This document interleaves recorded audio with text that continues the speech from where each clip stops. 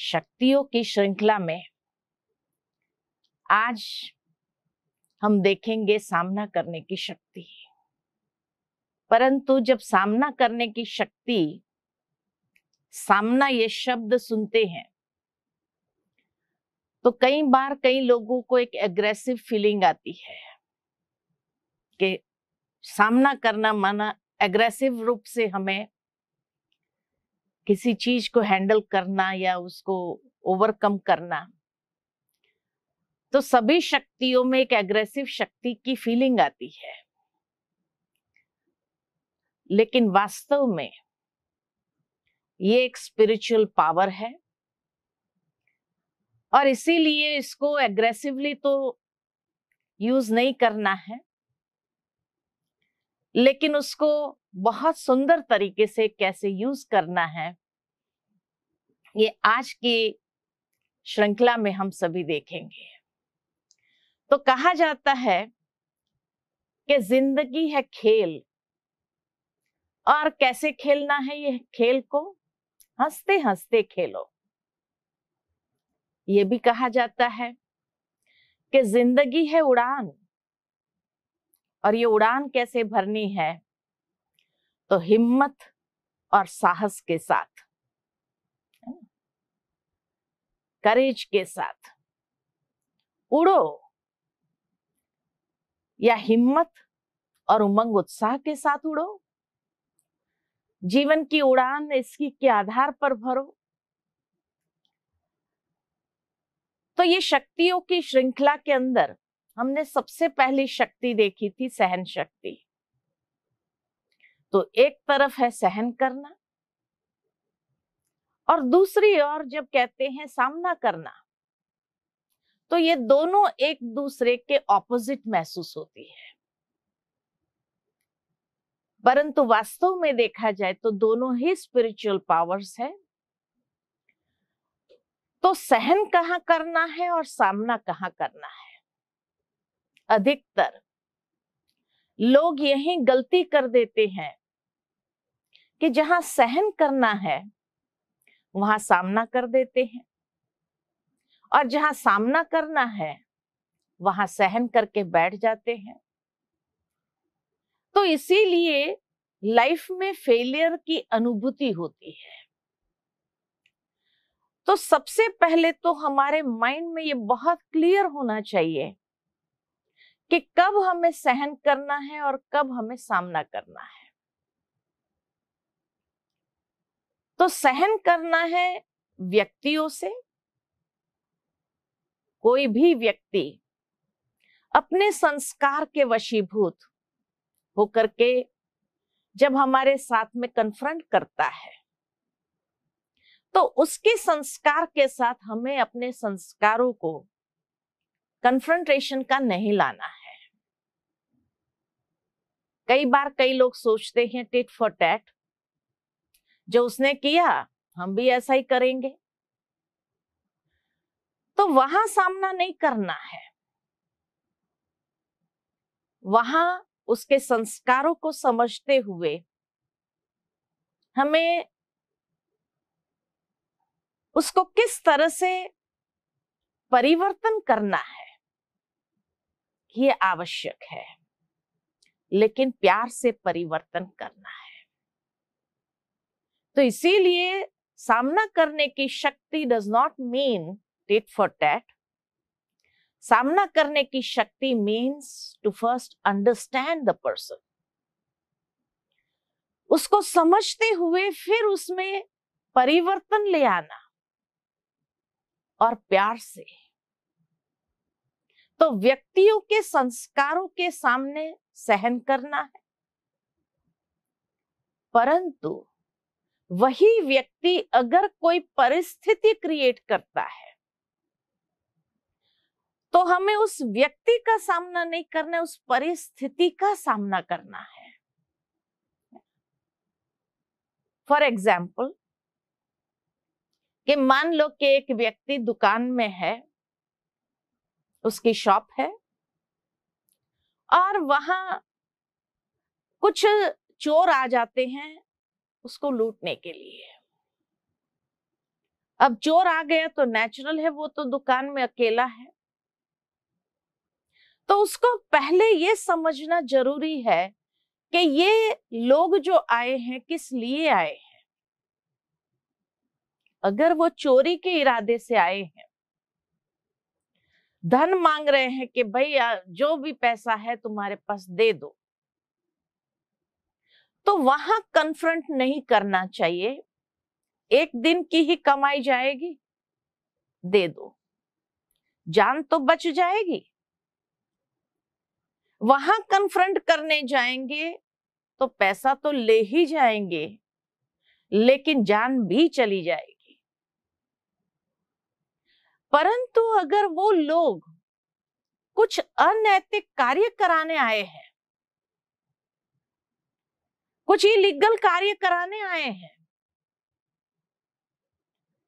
जिसके कारण बाद में आपके चरित्र के ऊपर हमेशा एक दाग लग जाएगा। तो वहाँ पर सामना करना है उस परिस्थिति का और सामना करते हुए कहा जाता है कि जान भले जाए लेकिन चरित्र हमारा न जाए। तो इसीलिए कहा कि सहन कहाँ करना है और सामना करना कहाँ है। भले एक दूसरे के विपरीत महसूस होती हो, फिर भी सहन व्यक्तियों के संस्कारों के सामने और सामना करना है जीवन की परिस्थितियाँ, समस्याएँ, चुनौतियाँ चैलेंजेस यह अपने ही कमजोरियों को।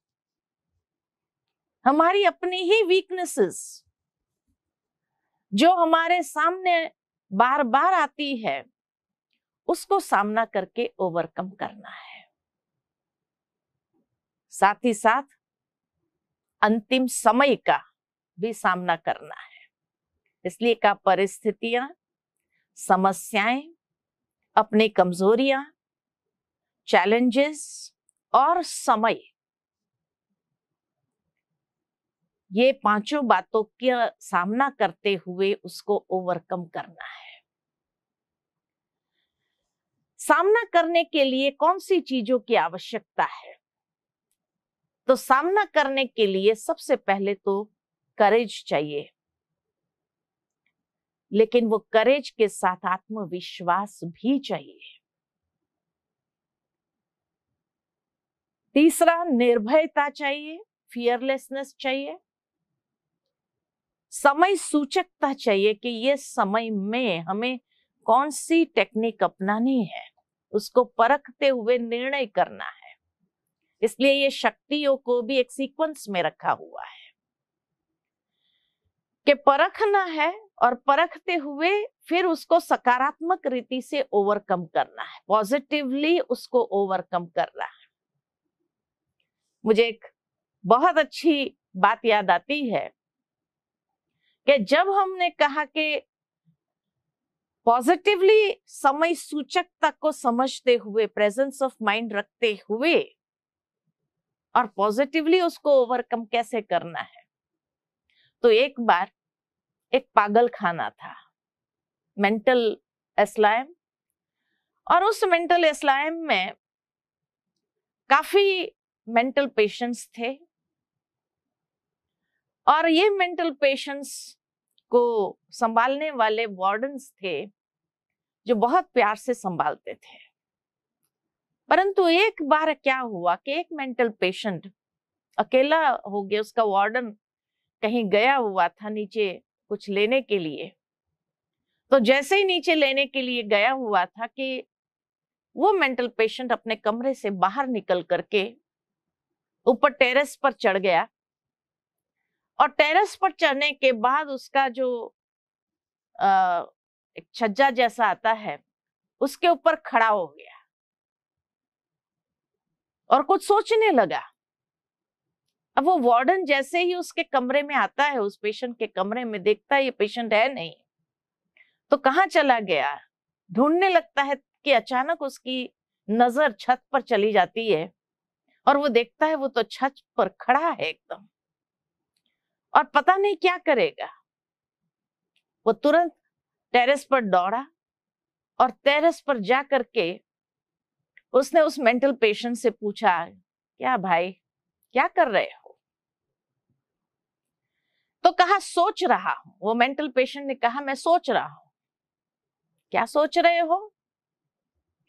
तो उसने कहा कि जैसे पंछी, पंख अपनी फैला करके उड़ते हैं और नीचे ज़मीन पर जाते हैं। आज मैं भी अपने हाथों को, अपने पंखों को, ये मेरे पंख है, देखो, ये मेरे पंख है। और ये पंखों के साथ मैं नीचे जाना चाहता हूँ फ्लाई करते हुए। और बस अभी उड़ान भरने वाला हूँ। कि वो एकदम वार्डन घबरा गया कि अगर यहाँ से वो कूदा तो नीचे चला जाएगा और उसके रिलेटिव्स आदि को भी मैं क्या जवाब दूँगा? सबको मैं क्या जवाब दूँगा? एक पेशेंट को हैंडल नहीं कर सका। कि तुरंत अपने प्रेजेंस ऑफ़ माइंड को यूज़ करते हुए, अब पेशेंट है, खींच नहीं सकता है, क्योंकि खींचने जाएगा तो उस समय उनमें इतना ज़ोर होता है, वो उसको भी घिसट करके नीचे कूद सकता है। तो उसने उसको कहा कि वेल तुम्हारे पंख तो बड़े अच्छे हैं, लेकिन ये कोई बात नहीं बनी। तो मेंटल पेशेंट उसको देख कर कहता है, क्यों? बोले, ऊपर से नीचे तो सब कोई जा सकता है, कोई बड़ी बात नहीं है। लेकिन बड़ी बात ये है, और वो तुम कर सकता है, तेरे पंख तो बड़े अच्छे हैं। बड़ी बात तो ये है कि जब नीचे से ऊपर आए, पंछी कैसे नीचे ज़मीन से उड़ करके ऊपर आते हैं? तो नीचे से ऊपर आना ये बड़ी बात है। तो मेंटल पेशेंट कहता अच्छा ऐसा है? तो वो वार्डन ने कहा, तुम आओ मेरे साथ में, हम दोनों नीचे चलते हैं और दोनों उड़ान भरते हैं और नीचे से ऊपर आएँगे। देखो, मेरे भी पंख बहुत अच्छे हैं, तेरे भी पंख बहुत अच्छे हैं। तो पागल ने कहा कि हाँ ये बात ठीक है, चलो। और तुरंत उसने उस पोर्च के ऊपर जो खड़ा था वहाँ से उसने उसको ले करके नीचे आ गया ज़मीन पर और ज़मीन पर आ करके फिर उसको उसके कमरे में ले गया। क्योंकि तब तक वो भी भूल गया था कि किस लिए नीचे आ रहे हैं। तो इसीलिए कहा जाता है कि कोई भी परिस्थिति का सामना करना है लाइफ में तो एक तो प्रेजेंस ऑफ़ माइंड यूज़ करना है और दूसरा पॉजिटिवली हमें उसको हैंडल करना होता है और पॉजिटिवली हैंडल करके उसको ओवरकम करना है। ये है सामना करने की आध्यात्मिक शक्ति। ये आध्यात्मिक शक्ति। आज लोग जो कन्फ्रंट करते हैं, अधिकतर नेगेटिवली कन्फ्रंट करते हैं और इतना नेगेटिव हो जाते हैं कि कई बार वो झगड़ा का स्वरूप ले लेता है और झगड़े के बाद जो है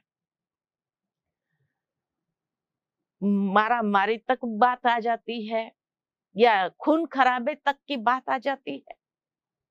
तो इसीलिए समय सूचकता के साथ बहुत पॉजिटिवली उसको हैंडल करते हुए ओवरकम करना है। क्यों? क्योंकि वर्तमान समय को अगर देखा जाए तो कहा जाता है नाजुक समय है। और ये नाजुक delicate we are moving through delicate rapid changing times तो नाजुक समय का सामना करने के लिए हमारे अंदर जो नाजुकपना है, हमारे अंदर जो वीकनेसेस है, जिस वीकनेसेस के कारण हम इतने डेलिकेट हो गए हैं कि कोई थोड़ा भी हमें कहता है कि वी जस्ट फ्लेयर अप एकदम फ्लेयर अप तो ये नाजुकपना छोड़ना है। है ना? नाजुक समय है परिवर्तन का और तीव्र परिवर्तन का समय है। और उसमें अगर हम खुद भी नाजुक हो गए अपने वीकनेसेस के कारण तो हम कभी समय के साथ कदम में कदम मिलाते हुए चल नहीं सकते हैं। वही टूट जाएँगे, बिखर जाएँगे और समाप्त हो जाएँगे। इसीलिए कहा जाता है कि ऐसे समय में आत्मविश्वास सेल्फ कॉन्फिडेंस और साहस के साथ आगे बढ़ना है। करेज के साथ आगे बढ़ना है। एक बहुत सुंदर कहावत यहाँ है और वह कहा, कहावत है कि पंछियों ने जब अपने पंखों पर किया विश्वास, पंछियों ने जब किया अपने पंखों पर विश्वास तो दूर तक उड़ान भर सके। They were able to fly far off बहुत दूर तक चले गए। तो परमात्मा के जो महावाक्य है, हम सब बच्चों के प्रति, वो परमात्मा हमें यही कहते हैं कि सामना करने के लिए हमेशा याद रखो कि हमारा बैकबोन कौन है? हमारा बैकबोन परमात्मा स्वयं है। किसी भी व्यक्ति द्वारा, किसी भी व्यक्ति के द्वारा समय पर वो प्रत्यक्ष हो ही जाएँगे। और अब भी हो रहे हैं। कभी भी व्यक्ति के सामने डिफ़िकल्ट टाइम्स आते हैं और वो डिफ़िकल्ट टाइम से गुजरना होता है तो कभी कभी व्यक्ति जब ईश्वर के ऊपर भरोसा रखता है तो कोई ना कोई मदद के लिए उस समय आ जाता है। कोई नहीं होता है। आउट ऑफ़ द ब्लू कोई व्यक्ति आकर के हमें मदद करके चला जाता है। और उसके बाद व्यक्ति सोचता है, मैंने तो उसका नाम भी नहीं पूछा, मैंने उसका एड्रेस भी नहीं पूछा। लेकिन ऐसा लगा कि एक एंजल की तरह आया, मुझे मदद करके चला गया। तो ये परमात्मा के अनुभव कई लोगों को है कि वो हमारा बैकबोन है, हमें विश्वास। एक तो आत्मविश्वास स्वयं पर और दूसरा विश्वास उसके ऊपर।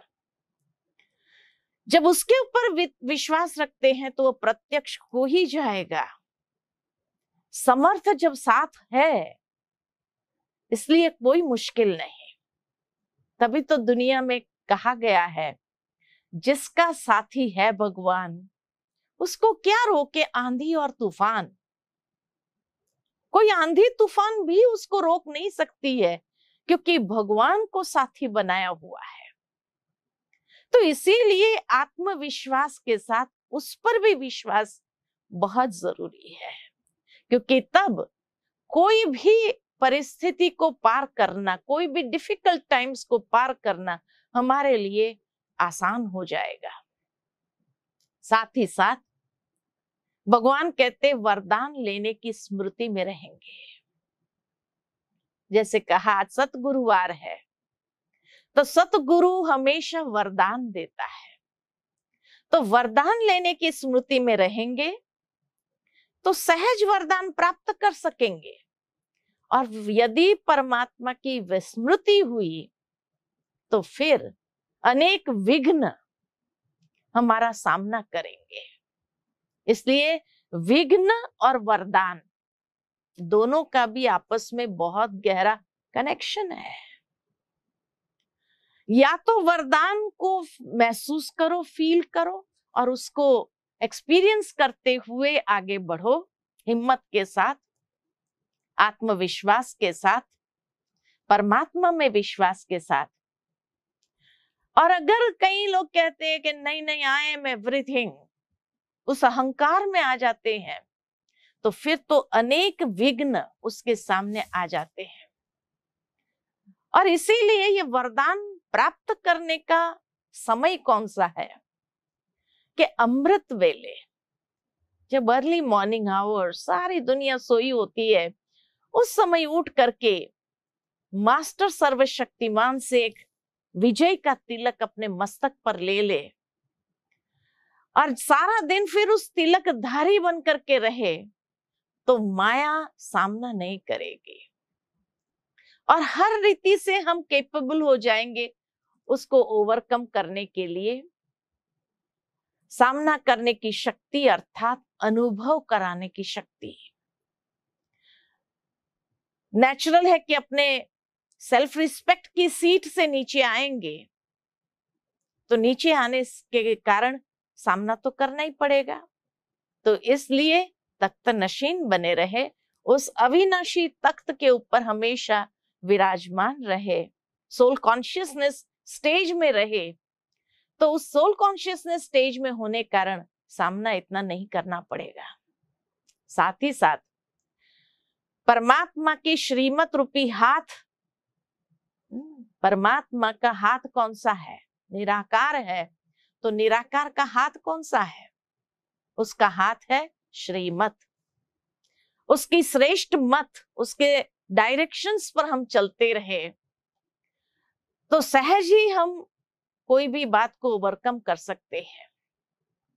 और कभी भी अगर डिफिकल्टी हो तो जो ब्रह्मा बाबा है, उस ब्रह्मा बाबा के जीवन को सामने रखे कि ब्रह्मा बाबा ने क्या किया? ऐसे परिस्थिति में ब्रह्मा बाबा ने क्या किया? क्योंकि ब्रह्मा बाबा के सामने भी बहुत सारी सिचुएशंस आई, बहुत सारी बातें आई। अनेक प्रकार के लोग ऐसे मिले तो उन्होंने उसको ओवरकम कैसे किया? तो जैसे कोई आदर्श कोई एग्ज़ाम्पल हमारे सामने होता है तो फिर उसको ओवरकम करना सहज हो जाता है।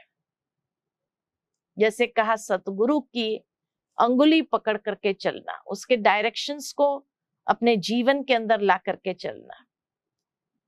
एक बहुत सुंदर बात यहाँ भी याद आती है मुझे, कि एक बार एक व्यक्ति था जो अपने गायों को लेकर के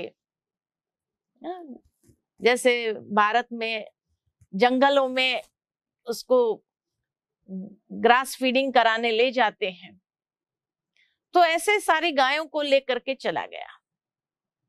अब वो गाय घास खाते खाते एक गाय जो है उस झुंड से अलग होकर के आगे जंगल था तो उस जंगल के अंदर चली गई। अब जंगल में तो कई जानवर भी होते हैं। तो एक वाघ था। वाघ ने जैसे ही देखा गाय को तो उसने सोचा, आज तो शिकार मिला। शिकार मिला तो उसके पीछे दौड़ने के लिए जैसे ही आने लगा, गाय ने देख लिया, दौड़ने लगे दोनों। अब दौड़ते दौड़ते एक तालाब जैसा था। तो उस तालाब में गाय कूद पड़ी। और जैसे ही कूद पड़ी तो वो वाघ जो था, वो भी उसके पीछे कूदा। थोड़ा डिस्टेंस रह गया। और दोनों जैसे उस तालाब में कूदे, अब वो तालाब जो था, दलदल था। अब जो ऐसे निकलने का प्रयत्न करे, उतना अंदर धसने लगे। उतना धसते गए धसते गए दोनों ही। न टाइगर सामने अपने शिकार को देख रहा है। लेकिन खा नहीं पा रहा है। और वो गाय भी उसको देख रही है। दोनों प्रयत्न कर रहे हैं, लेकिन दोनों ने समझ लिया कि ये दलदल है। अब तो थोड़े समय में दोनों नीचे चले जाएँगे और मर जाएँगे। तो वो थोड़ी देर के बाद वो गाय ने टाइगर से पूछा, आपका कोई मालिक है? तो वो वाघ ने कहा, मेरा कौन मालिक होगा? मैं तो ये जंगल का राजा हूँ। बड़े अभिमान के साथ उसने कहा कि तुम मैं तो मेरा तो कोई मालिक नहीं है। मैं ही इस जंगल का राजा हूँ। ये सारा जंगल मेरा है। और इसीलिए जो है, तुम ये क्यों पूछ रही है मुझे? उसने उसको पूछा। तो कहा फिर तो तुम मर जाएगा। अगर तेरा कोई मालिक नहीं, तुम अभिमान में है, तब तो तुम मर जाएगा। तो टाइगर ने कहा, तुमने ऐसा क्यों कहा? तो कहा, क्योंकि मेरा मालिक है और अभी जैसे शाम हो रही है तो मेरा मालिक मुझे ढूंढते हुए आएगा। और मुझे ढूंढते हुए आएगा तो मुझे निकाल लेगा और सचमुच में वो जो लड़का था, जो गायों को चराने ले जाता था, वो ढूंढते हुए आया कि मेरी एक गाय मिसिंग है। जैसे उसने देखा कि गाय तो उस दलदल में है और पीछे टाइगर है तो उसने दूर से ही जो है एक रस्सी डाली उसके गले के अंदर और जैसे उसके गले के अंदर जाके फंसी वो रस्सी उसको धीरे धीरे खींचने लगा और खींचते खींचते उसको बाहर निकाल लिया। अब टाइगर उस लड़के को कहे कि, भाई, मुझे भी तो बाहर निकाल। तो गाय जो है, उस वक्त हंसती है कि, तुम इस अभिमान में रहा कि तुम्हें किसी की ज़रूरत नहीं है। इसलिए आज तेरा ये हाल है। हमेशा उस मालिक को साथ में रखो। तो इसीलिए कहा, जब हम परमात्मा मालिक को भी साथ में रखेंगे तो कैसे भी सिचुएशन आ जाए हमारे सामने, डिफ़िकल्ट से डिफ़िकल्ट सिचुएशन आ जाएगी, लेकिन जब हम उसके ऊपर भरोसा करते हैं तो वो मैं कैसे भी करके निकाल ही लेता है। लेकिन उसके साथ साथ उसका मतलब ये नहीं है कि हम कैसे भी कर्म करना शुरू करें। किसी को दुख देंगे और कहेंगे, मालिक है। किसी को तकलीफ़ दे और हम कहेंगे, मालिक है। नहीं। परमात्मा हमें कहते हैं, श्रेष्ठ कर्म। वह श्रेष्ठ बनना। तो हर बात में दृढ़ संकल्प धारी बनो कि कुछ भी सामना करना पड़े, लेकिन श्रेष्ठ कर्म व श्रेष्ठता से हम नीचे नहीं आएँगे। जितना हमारे कर्म श्रेष्ठ होंगे इंटेंशंस हमारे श्रेष्ठ होंगे अच्छे होंगे। तो मालिक भी हर मुसीबत में हमारे सामने आकर के हमें उस मुसीबत से बाहर अवश्य निकालेगा ही। इसीलिए भगवान कहते हैं कि हमेशा ये स्वमान लो कि मैं मास्टर सर्वशक्तिमान मेरे पिता सर्वशक्तिमान है। तो मैं मास्टर सर्वशक्तिमान और मेरा कर्तव्य क्या है? मेरा कर्तव्य है विश्व कल्याण करना। अनेकों को सुख देना, अनेकों को मदद करना, अनेकों के साथ मिलकर के चलना।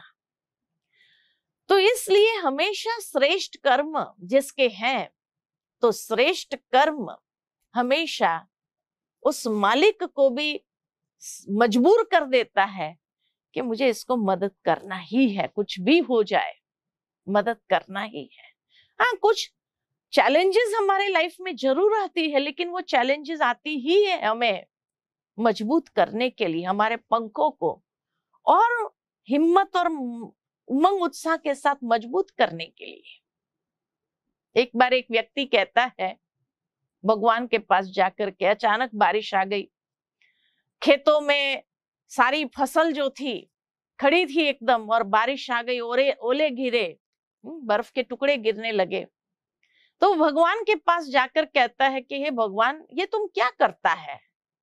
अभी हमारी फ़सल सारी इतनी खड़ी है और ऐसे समय में बारिश ला दी तूने और ये बारिश ला करके हमारी फ़सल ही खत्म कर दी। तुम्हें न चलाना नहीं आता है, प्रकृति को चलाना नहीं आता है।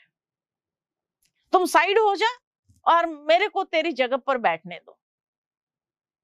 मुझे पता है कि किस समय बारिश चाहिए, किस समय और जब बारिश लाना होता है, तब तुम स्टॉम ले आता है। जब स्टॉम चाहिए, हवा चाहिए, तब तुम ये ले आता है। तो तुम्हें ये नेचर का नॉलेज नहीं है, तुमने कभी खेती बाड़ी किया नहीं है, और इसीलिए जो है ना, तुम ये काम नहीं कर सकते हो। थोड़े दिन मेरे को तेरी जगह पर खड़ा कर, मैं तुझे सिखाता हूँ, कैसे करना होता है। भगवान ने कहा, तू छोड़ दे तू मेरे साथ उलझ नहीं? कहा, नहीं नहीं नहीं, मैं सिखाता हूँ ना आपको। फिर जो है, वो भगवान कहता, ओके, ड्राइविंग सीट पर तू बैठ, मैं पीछे बैठता हूँ। अब जैसे ही वो आगे आकर के बैठ गया, अब जिस समय बारिश चाहिए तो उसने बारिश बरसा दी। जिस समय हवा चाहिए तो हल्की हवा भी दे दी। और सारी फ़सल बहुत अच्छी खड़ी हो गई। और जिस समय जो आवश्यकता, जितनी धूप चाहिए, उतना ही टेम्परेचर में धूप दिया उसको और सारी फ़सल खड़ी है एकदम, रेडी हो गई। वो भगवान को कहता, देख, अभी ये फ़सल कितनी अच्छी खड़ी है। इस साल मैंने कितना अच्छा किया। जितना पानी चाहिए उतना ही दिया, जितनी धूप चाहिए उतनी धूप दिया, उतना ही टेम्परेचर दिया, जितना हल्की हवा चाहिए उसको वो भी दिया। अब देखो ये फ़सल कितनी अच्छी खड़ी है। भगवान मुस्कुराने लगा। और मुस्कुरा करके जो है, वो तो कहता अच्छा देख क्या तेरी फ़सल? देखने गया नीचे तो बहुत बड़ी बड़ी फ़सल तो हो गई थी। लेकिन एक भी अनाज का दाना नहीं था। वो भगवान को कहते, ये क्या? मैंने इतना अच्छा बारिश दिया, इतना अच्छे टेम्परेचर में धूप दिया, इतना अच्छा उसको हवा दिया, फिर उसमें जो है दाना क्यों नहीं आया? तो कहा, यही तो बात है कि मैं जब ज़ोर की हवा देता हूँ तो वो जो घास है, वो जो फ़सल है, उसमें स्ट्रेंथ आती है। जब कड़कती धूप देता हूँ मैं तो वो उस धूप में भी वो अंकुरित होकर के बाहर निकलता है।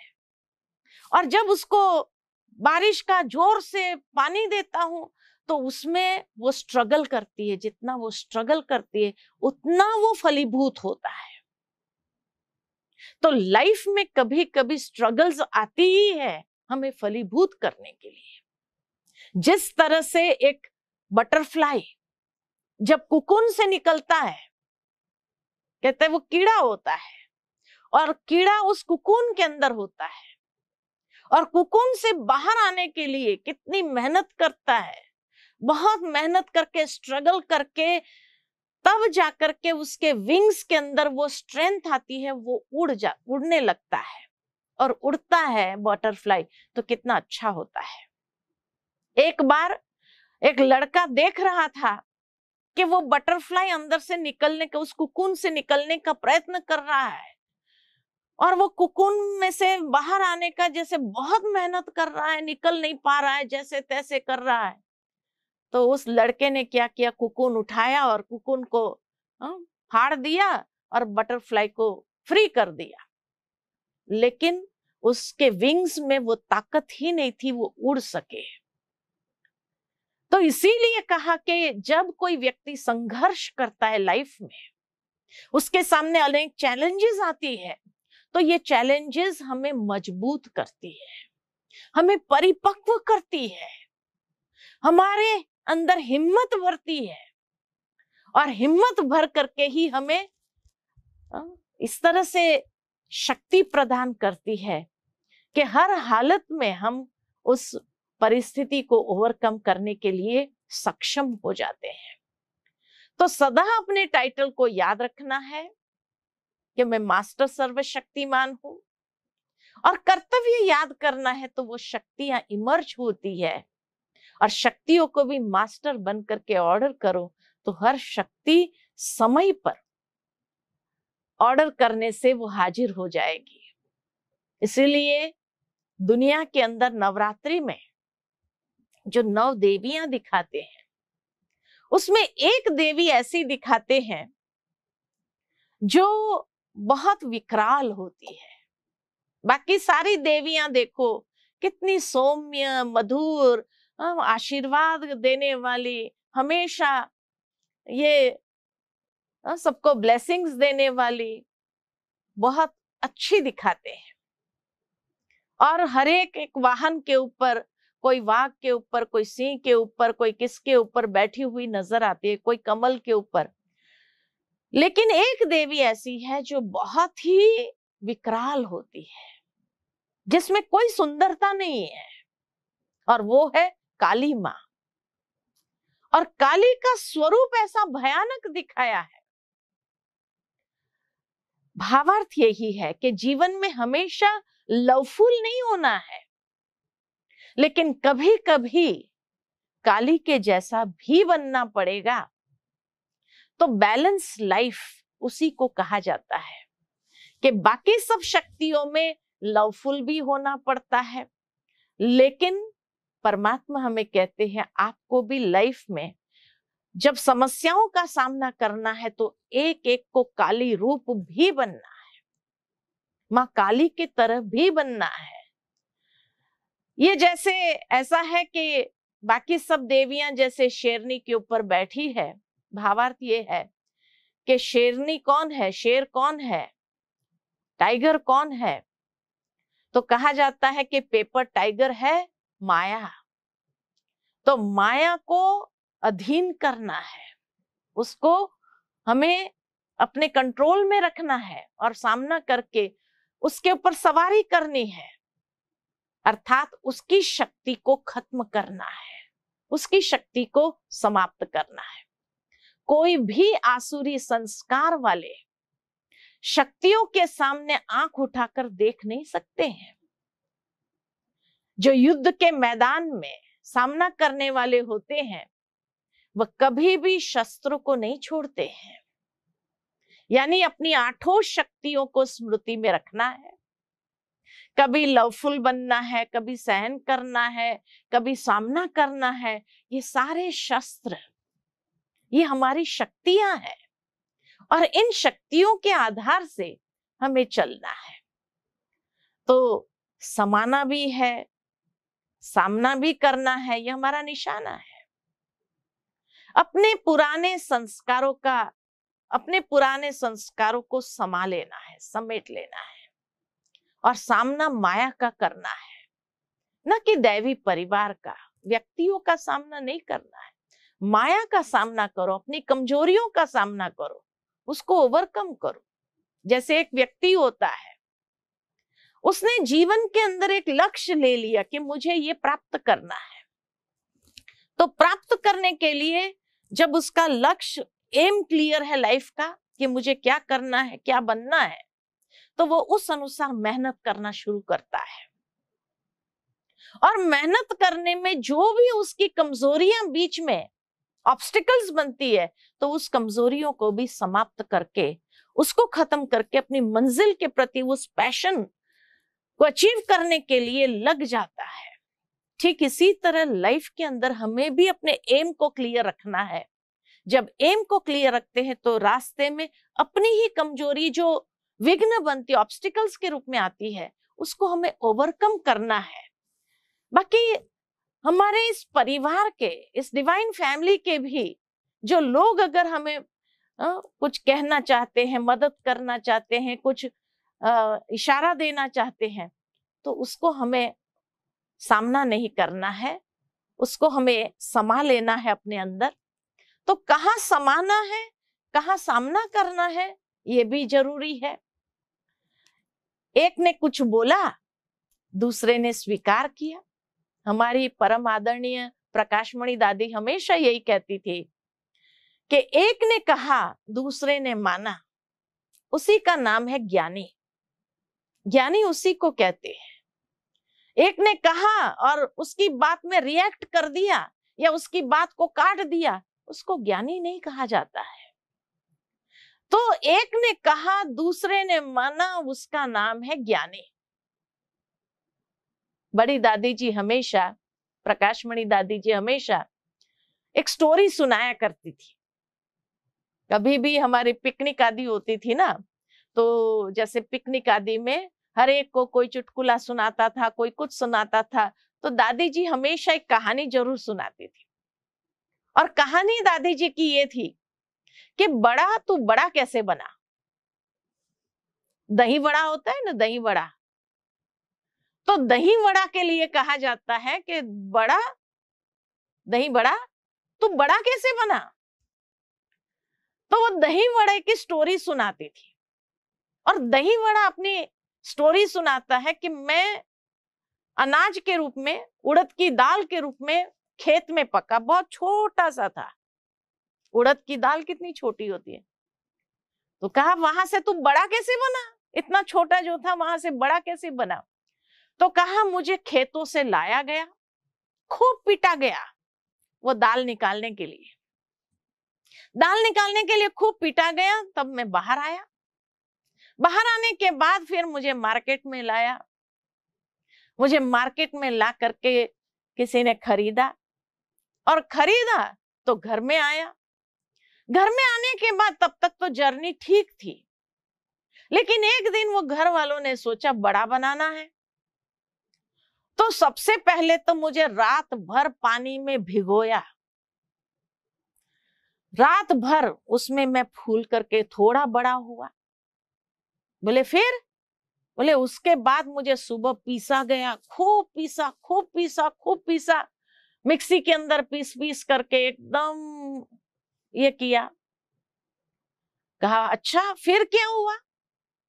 फिर कहा उसके बाद मुझे गरम गरम कढ़ाई में तला गया? मैं बढ़ता ही गया, है ना? वो जो खेत में था, इतना छोटा था, वहाँ से घर में आकर के जब मुझे रात भर भिगाया तो मैं बड़ा थोड़ा। उसके बाद मुझे पीसा, पीस करके रखा तो और फूला, और बड़ा। उसके बाद मुझे गरम गरम कढ़ाई में तला, मैं और बड़ा हो गया। बड़ा होने के बाद मुझे फिर ठंडे पानी में भिगोया, मैं और फूल गया और फिर मुझे दही के अंदर डाला गया। तब मैं और बड़ा हो गया। तो ये मेरी कहानी है कि लाइफ के अंदर इतना स्ट्रगल किया, तब मैं बड़ा बना। तो लाइफ में अगर बड़ा बनना है तो क्या होगा? लोग आपको भिगोएँगे, पछाड़ेंगे, तलेंगे गरम गरम कढ़ाई में तलेंगे, अर्थात के अनेक प्रकार के चैलेंजेस आपके सामने आएगी। लेकिन उन चैलेंजेस के साथ साथ आप बढ़ते ही जाते हो। तो इसीलिए किसी व्यक्ति का सामना नहीं करना है, परिवार का सामना नहीं करना है। बाकी सभी से शक्ति रूप से सामना करके किसी भी समय किसी का भी स्वभाव संस्कार तब सामना करता है, जब अपने अंदर शुभ भावना की कमी होती है। तो इसीलिए कितनी भी चैलेंजेस हमारे सामने आए, लेकिन सर्व के प्रति यही शुभ भावना, शुभकामना रखनी है और यही महसूस करना है कि इसका मतलब मैं बड़ा बन रहा हूँ। तभी इतनी चैलेंजेस मेरे सामने आ रही है। ये मुझे बड़ा बना रही है, ये मुझे आगे बढ़ा रही है। लेकिन उसके साथ अपने इंटेंशंस को बहुत प्योर अंदर में रखना है। बहुत सुंदर परमात्मा ने एक जगह पर कहा था कि वाइसलेस बनना ही वायरलेस सेट की सेटिंग है। है ना? वाइसलेस यानी प्योर बनना, ये वायरलेस यानी ईश्वर के साथ अपने आप को कनेक्ट करने की सेटिंग है। वायरलेस का कनेक्शन हो जाता है। जितना वाइसलेस उतना वायरलेस हमारा वायरलेस कनेक्शन ईश्वर के साथ हो जाता है। अगर उसमें जरा भी अंश मात्र इम्प्योरिटी आ गई तो ये सेट बेकार हो जाता है वायरलेस कनेक्शन नहीं हो सकता है।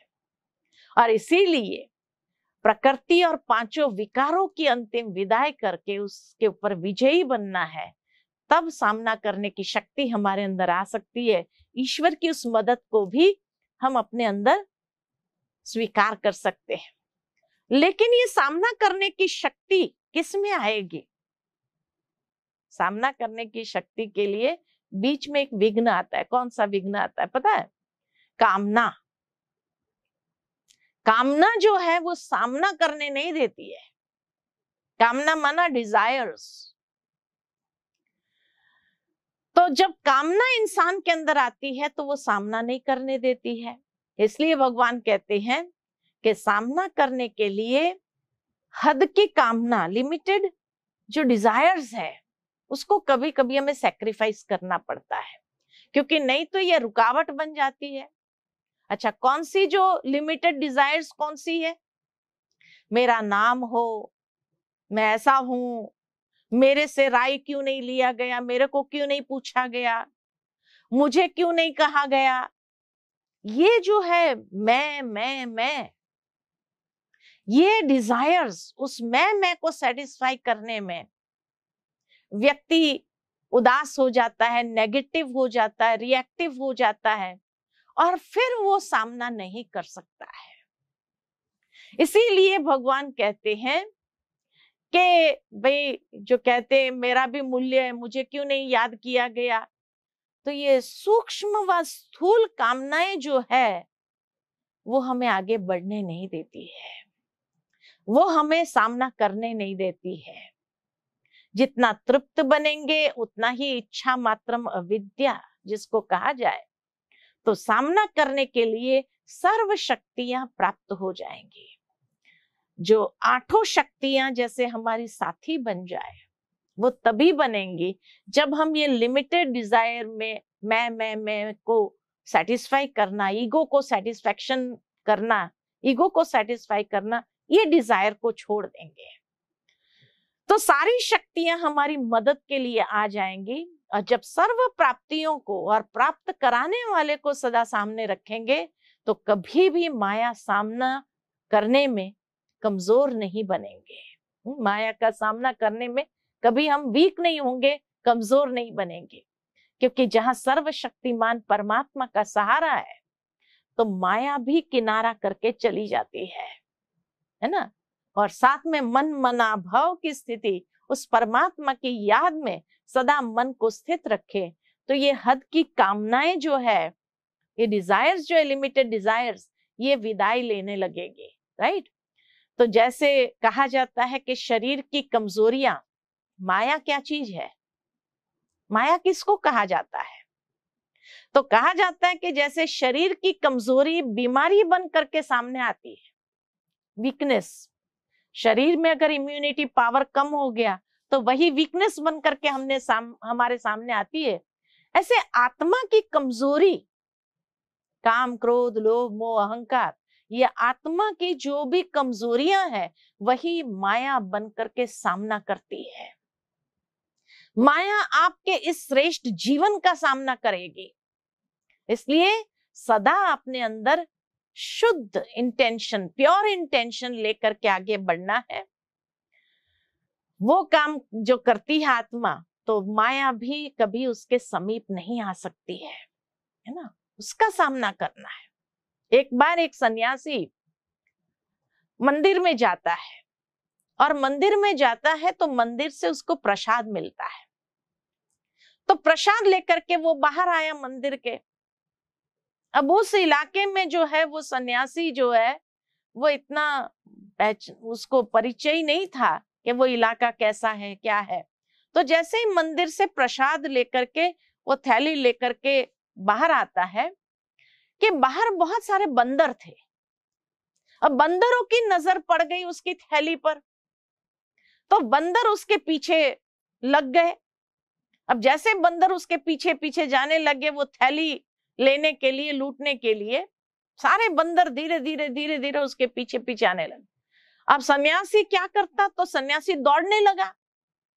तो दौड़ने लगा तो वो बंदर भी उसके पीछे दौड़ने लगे, है ना?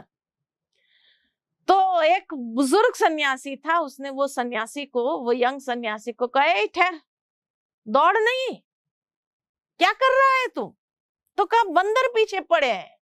और मेरा ये प्रसाद जो है, उसको लूटना चाहते हैं। तो कहा, वो बुज़ुर्ग सन्यासी ने कहा, ऐसे भागना नहीं होता है।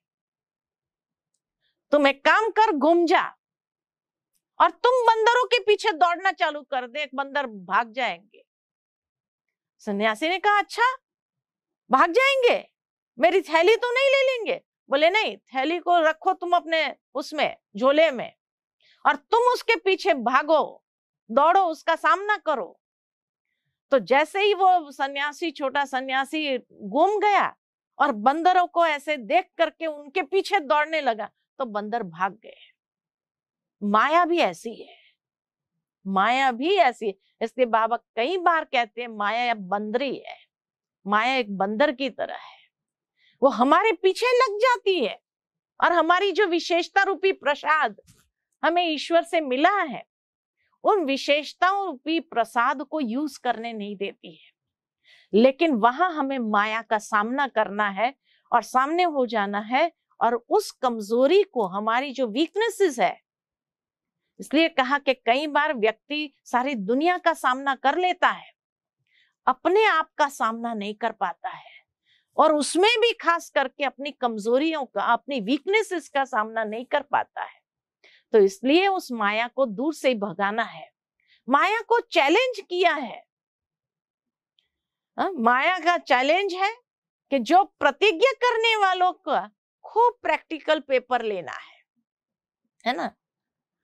ये माया का चैलेंज है कि जो प्रतिज्ञा करता है ना कि हम वैल्यूज़ के रास्ते पर चलेंगे, हम अच्छे बनेंगे। तो माया भी क्या कहती है अच्छा अभी चलो तेरा पेपर लेती हूँ। है ना? और बाबा भी कई बार कहता है कि, माया मेरी आज्ञाकारी बच्ची है। जब कोई मेरे राह पर चलना चालू करता है तो कहता हूँ, जरा टेस्ट करके तो देखो, मज़बूत है। इसलिए दुनिया में कहावत है कि, हरि का मार्ग है सुराना नहीं कायर का काम। यानी परमात्मा के मार्ग पर चलना, ये सुरवीरों का काम है। कायर का काम नहीं है, कायर जो होता है ना, वो ईश्वर के मार्ग पर चल नहीं सकता है। तब कहा, हरि का मार्ग है सुराना सुरवीरों का काम है। सुराना माना जो सुरवीर है, नहीं कायर, जो कावड़ है, वो कावड़ जो है वो कभी भी हरि के मार्ग पर चल नहीं सकता है। तो इसीलिए माया की चैलेंज है। किसको? जो प्रतिज्ञा करते हैं कि हम ईश्वर के बताए हुए मार्ग पर चलेंगे तो उसका खूब प्रैक्टिकल पेपर लेना चालू करती है। इसलिए साहस रखा और माया का सामना शुरू किया तो पहले से ही अपने में हिम्मत रखनी है, साहस होगा वो घबराएँगे नहीं। गहराई में जाकर के अपने आप को समझना ज़रूरी है। अपनी कैपेसिटीज को समझो, उसको डेवलप करो। वीकनेसेस को देखते रहेंगे तो वो, उस, वो डराएगी हमें, वो घबराएगी। तो इसीलिए कहा जाता है कि जीवन में चलना कैसे है? नरम और गरम। नरम भी रहना है और गरम भी होना है। लेकिन नरम कहाँ होना है? गरम कहाँ होना है? तो कहा नरमाई, नरम माना नरमाई, माना निर्माणता। जहाँ हम्बल होना है, वहाँ हम्बल हो जाओ। और गरमाई माना शक्ति स्वरूप, काली स्वरूप। काली माँ की तरह बन करके अपनी कमज़ोरी को समाप्त करो। जैसे दुश्मन पहले कमज़ोर करने की कोशिश करता है, ठीक इसी तरह माया भी अपनी सेंस को कमज़ोर करती है, हमारी समझ को कमज़ोर करती है। तो दुश्मन का सामना करके विजयी बनना है। ये याद रखना, ये स्मृति रखना है कि हम कल्प कल्प के विजयी आत्मा है और विजयी बन करके दिखाएँगे। ये समर्थी के बोल है। सदा अपने संपूर्ण स्वरूप को सामने रखो ये सामने रखने से माया का सामना करना बहुत सहज हो जाएगा। जैसे भगवान हमेशा एक एग्ज़ाम्पल हमें देते हैं कि दुनिया में एक खिलौना था। ब्रह्मा बाबा जब थे तो कोई एक खिलौना लेके आया था ब्रह्मा बाबा के सामने। तो उसमें क्या था कि एक तरफ़ राम था, एक तरफ़ रावण था और बीच में सीता थी। तो सीता का फेस हमेशा रावण की ओर जैसे ही ऐसे घूम करके आती थी, ऐसे घूमता था वो। तो सीता जैसे घूम करके आती थी तो राम के तरफ़ फेस कर देती, पीठ रावण के तरफ़ कर देती थी। वो ऐसा कुछ मैग्नेटिक ये था तो वो अट्रैक्ट हो जाती थी। तो अट्रैक्ट होकर के रावण के तरफ़ पीठ हो जाती थी, उसके बैक हो जाता था, राम के तरफ़ पीठ फेस हो जाता था। तो ब्रह्मा बाबा हमेशा कहते, देखो, ये खिलौने में भी कितनी अक्ल है। कि जब राम का राम आता है तो वो अपना फेस उसके तरफ़ कर देती है और रावण को पीठ कर दे। अगर रावण को फेस करती थी ना तो कभी उसको जो है अशोक वाटिका में जाना नहीं पड़ता था। तो हमेशा हमें फेस करना है माया को और अपने ईश्वर को साथ हाँ, राम का साथ लेना है और फेस करना है रावण को। तो अगर पीठ कर दिया तो सहज ही अनेक प्रकार की जो आकर्षण है, उससे हम बच जाएँगे। जो कहा ना, सीता फंसी क्यों? परख नहीं सकी मारिच को। तो उस आकर्षण के पीछे चली गई। तो इसीलिए माया बहुत सारे आकर्षण का रूप अट्रैक्शन करते हुए हमें ले जाती है। तो इसीलिए परीक्षाओं को हमें फेस करना है, सामना करके उसको पार करना है। कोई भी बात सामने आती है तो परमात्मा द्वारा मिली हुई शक्तियों का प्रयोग करना है। हिम्मत को छोड़ना नहीं है, हिम्मत हिम नहीं बनना है, क्योंकि ईश्वर का वायदा है। क्या वायदा है? हिम्मत मर्दा तो मदद खुदा। हिम्मत मर्दा, हिम्मत बच्चे तो मदद खुदा। तो इसीलिए हिम्मत का पहला कदम हमें बढ़ाना है। जब एक हिम्मत का कदम बढ़ाएँगे तो भगवान हज़ार कदम बढ़ करके सामने आएगा मदद करने के लिए। तो इसीलिए हिम्मत को कभी भी खोना नहीं है। हिम्मत को सदा साथ रख के चलना है। तो देखो किस तरह परमात्मा की मदद हमें प्राप्त हो ही जाती है। और हर शक्ति को प्रैक्टिकल प्रयोग करने के लिए हमें अभ्यास करना है। सामना करने की शक्ति किसको कहा जाता है? अगर कोई माया का रूप, जैसे कोई क्रोध करते हुए सामने आया तो किस रीति से हम क्रोधी व्यक्ति के ऊपर विजयी होंगे? एक एक शक्ति के विस्तार और अभ्यास में जाओ, उसकी प्रैक्टिस करो। जितना प्रैक्टिस करेंगे, उतना उसको हम अपने जीवन के अंदर डेवलप कर सकेंगे। मान लो कि कोई क्रोधी हम, आदमी हमारे सामने आ जाता है। बहुत इंसल्ट करता है, बहुत गाली देता है। लेकिन जब हमारे अंदर कल्याण की भावना होती है, हर आत्मा के प्रति तो रोब बदल करके रहम हो जाए। उसका भी जो क्रोध है रोब है, वो बदल जाएगा, क्योंकि हमारे पॉजिटिव वाइब्रेशंस उसको भी चेंज कर देंगे। सिर्फ़ उस समय विल पावर होने के कारण सामना कर विजयी बन जाएँगे, और जितना विजयी रत्न बन करके किसी कार्य, समस्या, व्यक्ति किनारा नहीं करना है। लेकिन हमें कर्म करते हुए, सामना करते हुए, उसको सहयोगी, उसके सहयोगी बनते हुए, एक बेहद की वैराग्य वृत्ति के साथ हमें उसको लेकर के चलना है। लवफुल के साथ साथ पावरफुल भी बनना है है ना?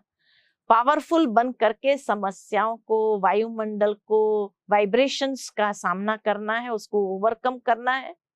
और मधुरता के साथ, शुभ भावना के साथ उस आत्मा को सहयोगी बना देना है। तो क्रोध के संस्कार तो आज दुनिया में हर कोई के अंदर है ही है, लेकिन शुभ भावना से सहनशीलता का पाठ पढ़ा है, जो सामना करता है, आज सामना करता है, कल वही क्षमा मांगते हुए आएगा और उसके मुख से भी नहीं, यही बोल निकलेंगे, वाह, क्या आपकी बात है। तो इसीलिए कहा हमारी शुभ भावना शुभ कामना उस व्यक्ति को भी एक न एक दिन परिवर्तन अवश्य करेंगे। इसलिए हमेशा ज्ञान का मनन, चिंतन जितना हम करते रहेंगे, उसमें बिज़ी रहेंगे तो देखेंगे कि माया सामना नहीं करेगी, देखेगी, ये बिज़ी है तो चली जाएगी। मन, ये शब्द है ना, कल मैंने बहुत अच्छी एक लाइन पढ़ी कि मन कितना अच्छा शब्द है। उसके आगे न रख दो। उसके आगे न लगा दो, मन के आगे तो नमन हो जाएगा। और मन के पीछे न लगा दो तो मनन हो जाएगा। तो या तो नमन, यानी निर्माण बनो, या तो मनन करो। तो अंतर्मुखी होकर के जितना मनन करेंगे, उतना हम विजयी अपने आप में शक्ति अनुभव करेंगे और विजयी हो सकेंगे नॉलेज इज़ पावर तो मनन करने से हमारे अंदर पावर आती है। जितना हम अंतर्मुखी रहेंगे, मनन करेंगे, उतनी पावर अंदर भरती जाएगी। लेकिन जितना बाह्य मुक्ता में आते हैं तो क्या होता है? खुद भी डिस्टर्ब होंगे, दूसरों को भी डिस्टर्ब करेंगे। तो समस्या का स्वरूप, ये माया का स्वरूप है। जब माया को चैलेंज किया है तो माया सामना तो करेगी। कोई भी समस्या का सामना करने की सहज विधि एकाग्रता की शक्ति। पहले उस समस्या को परखो, एकाग्रता के आधार पर, फिर निर्णय लो, क्या करना है उसको कैसे ओवरकम करना है, और फिर दृढ़ संकल्पधारी बन करके उसको समाप्त करने के लिए निवारण सोचो। तो माया का सामना करना आसान हो जाएगा। कैसे भी माया का विकराल रूप, रॉयल रूप हो सेकंड में उसको समा लेना है। तो इसीलिए भगवान जो कहता है कि परिस्थितियाँ जो जीवन के अंदर आती है, वो सारी परिस्थितियाँ जो है उसको ओवरकम करना है।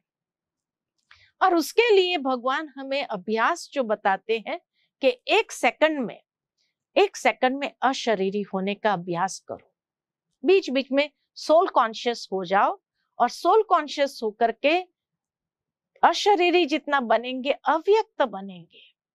व्यक्त से अव्यक्त होना ज़रूरी है तो उसमें संकल्पों की बचत हो जाएँगी समय की बचत हो जाएँगी, अपनी शक्ति की बचत हो जाएँगी, और बिंदी बन करके उस इतना सूक्ष्म होकर के उस परिस्थिति को ओवरकम करेंगे। जैसे हनुमान जी का मिसाल है कि हनुमान माना कौन महावीर था। तो हनुमान माना कौन सबसे पहली बात उसने अनुमान एजम्पन्स और अभिमान का हनन किया था ओवरकम किया था। अनुमान माना एजम्पन्स किसी के बारे में अनुमान लगाते ना डाउट्स क्रिएट करते हैं। तो उसका और अभिमान का हनन किया था, है ना? हनुमान उसको कहा जाता है। और हनुमान के पास वो शक्ति थी। इतना छोटा रूप भी हो जाते थे सूक्ष्म। जहाँ परिस्थिति देखते थे तो कहा विकराल रूप हो जाते थे, कहा सूक्ष्म रूप हो जाते थे और उसको ओवरकम हो जाते कभी लाइट हो जाते थे, उड़ सकते थे। ये सारी शक्तियाँ उसको प्राप्त थी। तो इसी तरह भगवान हमें भी कहते हैं कभी कभी सूक्ष्म हो जाओ। अभिमान को समाप्त करके इतना निर्माण बन जाओ। और कहा तो बहुत अपने आप को शक्तिशाली समझो कि जहाँ हज़ार भुजा वाला परमात्मा मेरे साथ है तो शक्तिशाली स्वरूप बन जाओ। कहीं एकदम लाइट हो जाओ, अव्यक्त फरिश्ता स्वरूप बन करके उड़ना शुरू करो। तो ये सारी शक्तियाँ हमारे पास है। आप अव्यक्त हो जाओ। तो व्यक्त भाव की बातें दिखाई न दे और आप सहजता से ओवरकम कर सको। या तो भगवान के प्यार में समा जाओ, लवलीन हो जाओ। जो लवलीन आत्माएँ हैं, भगवान के साथी है तो माया उसका सामना कभी नहीं करती है। इसलिए एकांतवासी बनो, अंतर्मुखी बनो, सरल स्वभाव वाले बनो। जितना सरल स्वभाव कभी कभी मनुष्य का अपना कॉम्प्लिकेटेड नेचर ही उसके लिए ऑब्स्टिकल्स बनता है। आज कहा जाता है ना, मनुष्य बहुत कॉम्प्लिकेटेड हो गया है। उसको समझना मुश्किल है। तभी तो कई बार कई लोग क्या कहते हैं, इसके साथ इतने साल रहे लेकिन आज तक हम उसको समझ नहीं पाए कि आखिर उसका वास्तविक स्वरूप कौन सा है। कहते हैं ना कई बार माताएँ भी कहती अपने पति को देख करके इतने साल हम साथ में रहे लेकिन अभी तक समझ नहीं पाए उसको। तो बाबा कहे सरल स्वभाव वाले बनो तो माया कम सम, सामना करेगी। सरल स्वभाव वाले व्यर्थ संकल्प और व्यर्थ समय में नहीं अपना गंवाते हैं। और उसकी बुद्धि विशाल और दुरानदेशी रहती है। उसके आगे कोई समस्या सामना नहीं कर सकती है। योगयुक्त होकर, निश्चय बुद्धि बन करके अपने हर कर्तव्य में सफलता को प्राप्त करता ही है। तो इसीलिए अपने संकल्पों को हमेशा शुद्ध रखना है और हिम्मत के साथ आगे बढ़ना है है ना?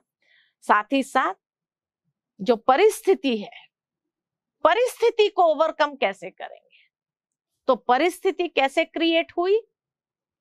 तो जब हम अपनी स्वस्थिति में नहीं है स्वस्थिति बहुत पावरफुल है। सेल्फ रिस्पेक्ट हमारा बहुत पावरफुल है।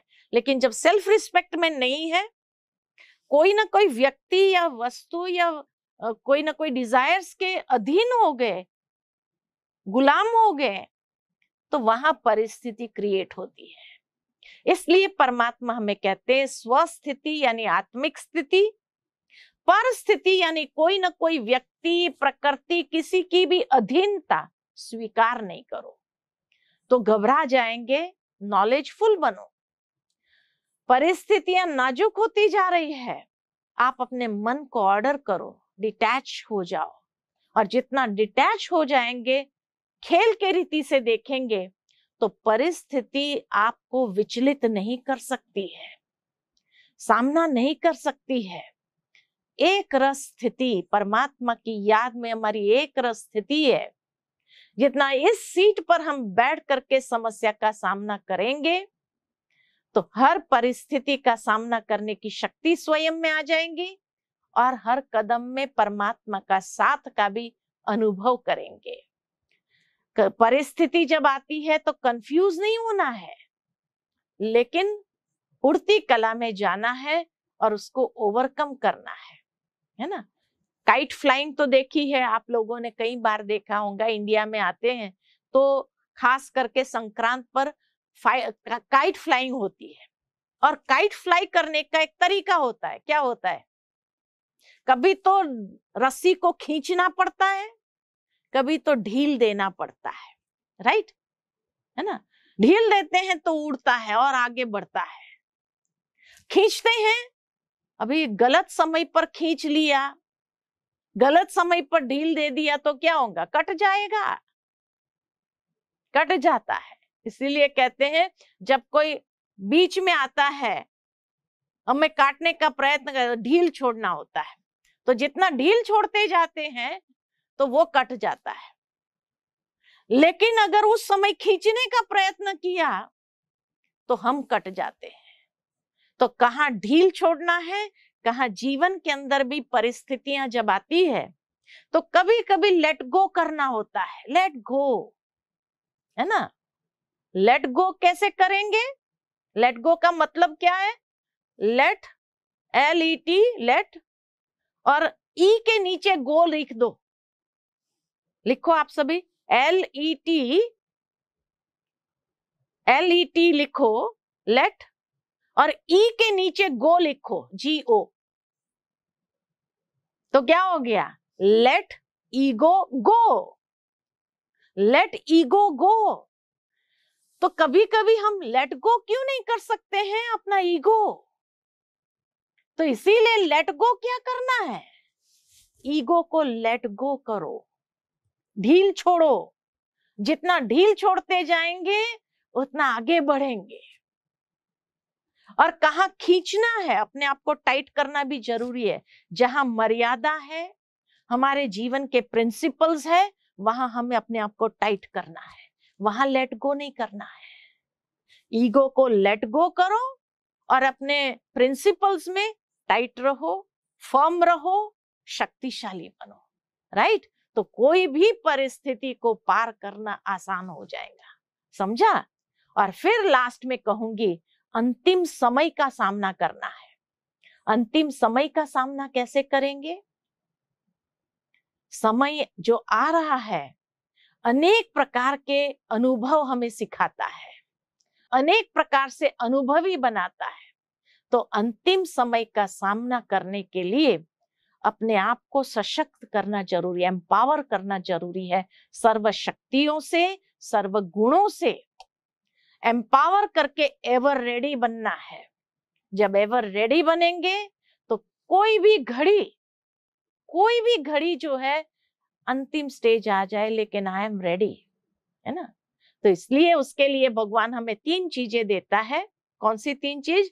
Light might and divine insight divine insight माना नॉलेज लाइट माना शक्तियाँ हमें मिलती है, माइट शक्तियाँ मिलती है और लाइट माना तरीका मिलता है, कैसे करना है। ये हमारी बुद्धि के अंदर जैसे कहा ना प्रेजेंस ऑफ़ माइंड तो जब लाइट एक स्पार्क होती है इंट्यूशन जिसको कहा जाए, एक फ्लैश होता है तो वो लाइट मिली, परमात्मा की शक्तियों की माइट मिली और ज्ञान की डिवाइन इंसाइट मिली, ताकि हर समय कौन सी शक्ति को कब यूज़ करना है, किस विधि से यूज़ करना है, उसको ओवरकम करना है। और साथ ही साथ अंतिम समय में अनेक प्रकार की नेचुरल कैलेमिटीज भी आएँगी, प्रकृति भी विकराल रूप लेंगी, लेकिन आपको अपने सोल कॉन्शियसनेस में स्थित होना है। और सोल कॉन्शियसनेस की स्टेज पर स्थित होकर के जितना हमने अपने संस्कारों को जीता होगा, उतना कोई भी पेपर हमारे सामने आ जाए उस पेपर में सहजता से पास होकर के उसको ओवरकम कर सकेंगे। तो हमें परिस्थितियों का सामना करना है, हमें माया का सामना करना है, अपनी कमजोरियों का सामना करना है और अंतिम पेपरों का सामना करना है और उसकी विधि क्या? परमात्मा सर्वशक्तिमान मेरे साथ है। तो हिम्मत, साहस, उमंग, उत्साह प्रेजेंस ऑफ़ माइंड फियरलेसनेस निर्भयता और अंतर्मुखी होकर के उस प्रेजेंस ऑफ़ माइंड को यूज़ करके पॉजिटिवली उसको ओवरकम करना है। ठीक है? अच्छा? ओम शांति। तो थोड़ी देर के लिए हम अपने अंदर वो शक्ति को आवाहन करेंगे मेडिटेशन करेंगे। सभी बैठ जाए, है ना? और स्वयं को महसूस करें। उस सोल कॉन्शियस स्टेज में कि मैं सर्वशक्तिमान परमात्मा की शक्तिशाली संतान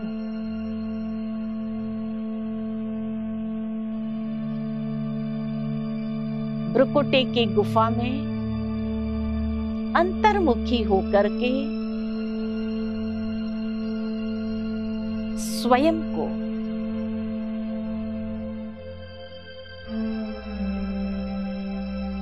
देखना है।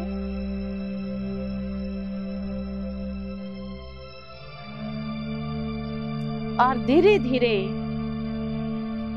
मन को, बुद्धि को, उस परम पिता परमात्मा के सानिध्य में ले चलना।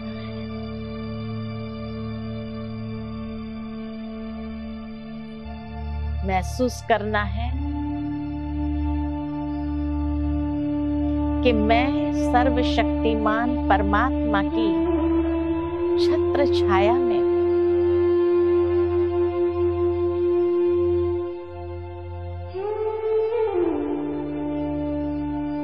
मैं आत्मा, प्रकाश, पुंज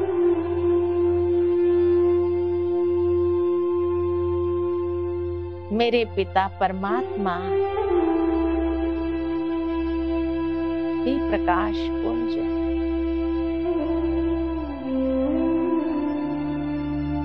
अनंत प्रकाश प्रकाशमान। दिव्य तेजोमय स्वरूप है।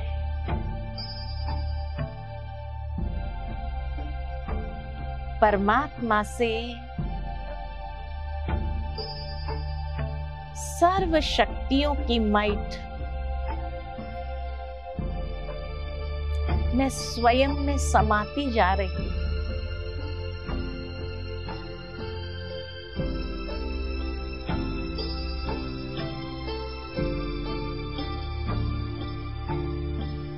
और सशक्त होती जाती हूँ।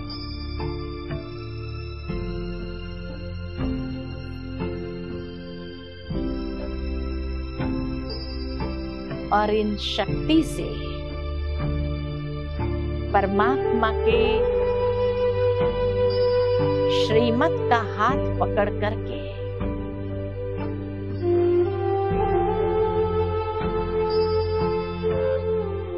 हर मुश्किलों का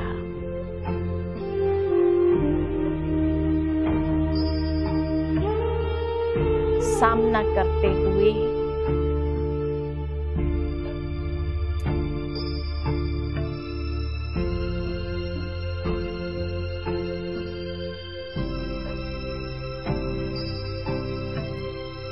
संघर्ष में।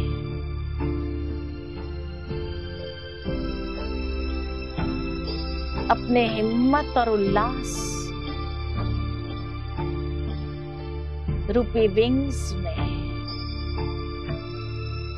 शक्ति भरनी।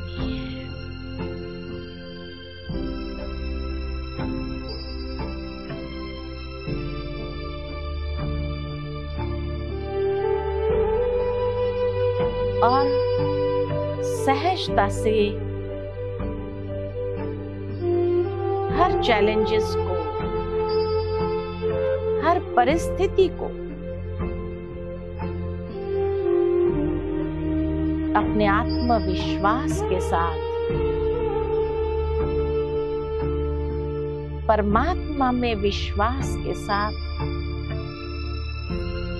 उसको ओवरकम करना है। विजयी होना है। परमात्मा के वरदानों का हाथ सदा स्वयं पर महसूस करो। मैं वरदानी आत्मा हूँ। परमात्मा की ब्लेसिंग से कोई भी परिस्थिति को पार करना सहज। है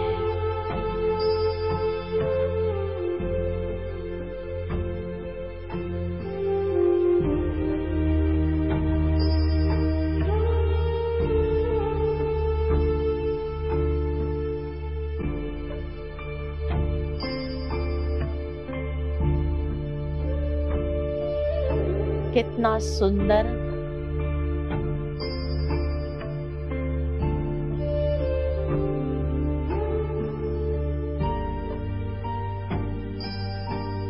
समय है।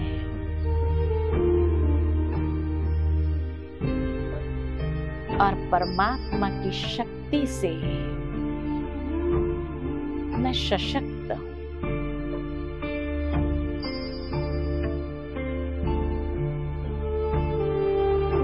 और परमात्मा की शक्ति के आधार से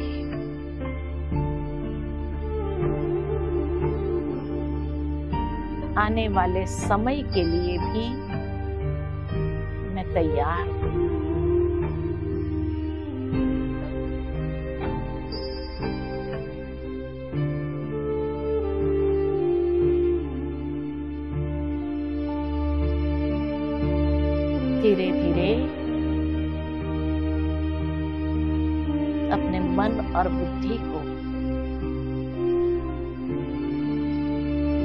भ्रुकुटी के मध्य में स्थित।